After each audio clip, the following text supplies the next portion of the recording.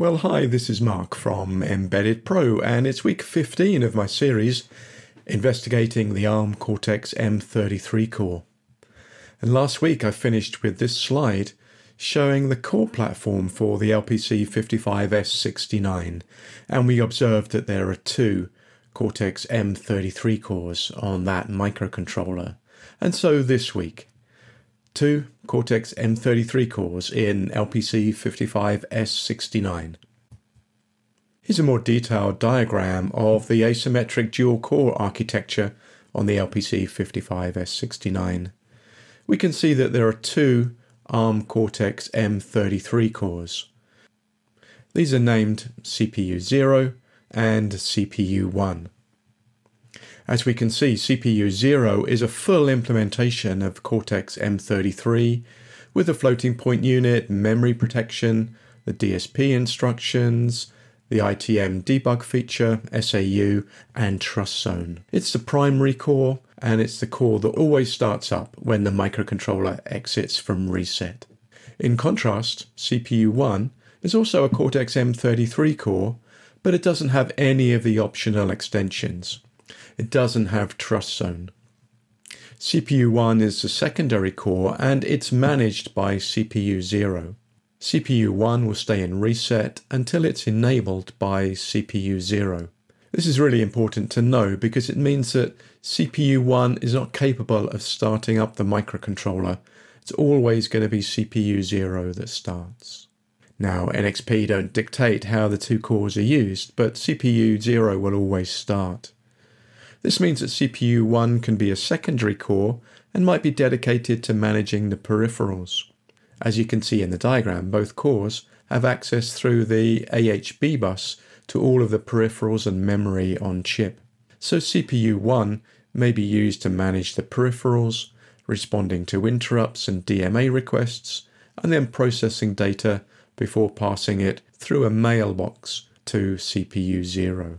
The LPC 55S69 has a mailbox implementation, and as we'll see shortly, there's a mutex feature in this mailbox. It's straightforward to design software for the two cores, CPU 0 and CPU 1, because these can be treated as separate projects. So different software teams can develop code for CPU 0 and CPU 1, and they can be integrated late in the development flow, easing the time to market. And as we'll see, MCUXpresso IDE's got really great support for dual core configuration and debugging. The slave project or the CPU1 project can be linked with the CPU0 project by the application configuration. And their images can be linked together by a linker script so that we have one image that finally gets downloaded into internal flash memory. But as we'll see for debugging, the two projects can be debugged independently but in the same workspace. It's a very convenient feature for software developers. Let's take a quick look at some of the key documentation for dual core.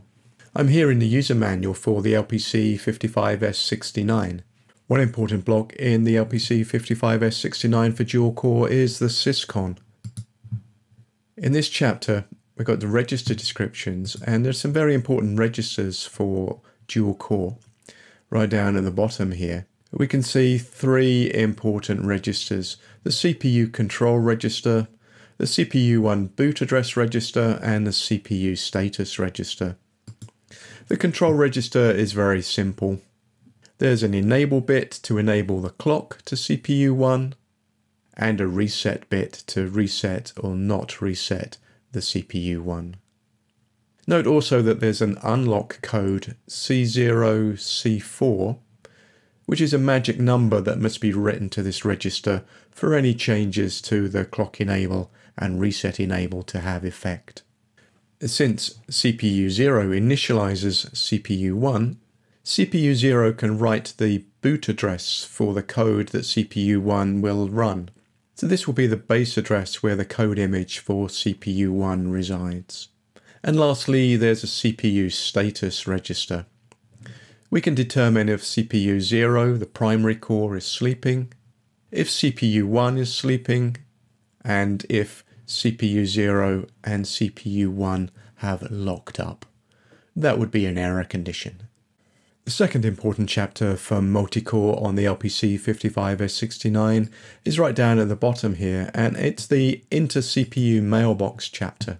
The LPC 55S69 has a peripheral named the mailbox, and this enables communication between the two cores. CPU 0 and CPU 1 can assert an interrupt onto the other core, and in fact each can assert up to 32 interrupts on the other core with IRQ0 and IRQ1 registers. These of course are 32 bits. And finally there's the mutex register and this provides a mechanism for testing and locking shared memory resources before reading or writing data to that shared resource. MCUXpresso IDE is also very well equipped for multi-core and let me refer you to chapter 19 of the MCUXpresso IDE user guide where there's a very informative chapter about multi-core projects. And then lastly, the software development kit, the SDK for the LPC 55S69, comes with a multi-core SDK. This SDK is integrated into the LPC 55S69 SDK and provides a comprehensive multi-core driver. There are three main components of the multi-core driver. First of all in blue here, the multi-core manager driver, and we'll see this in action today when we look at a dual core project in MCUXpresso. There's also an embedded remote procedure call layer and also a remote processor messaging light layer. We won't look at those two today. Well, that's really enough theory for this week. Come back next time and I'll show you dual core projects running in MCUXpresso and we'll look at some of the advanced debugging features. Well, I'll see you next time, and if you enjoy these videos, then please subscribe to my channel, like the video, and share it with your friends. Goodbye from now, and I'll see you next week.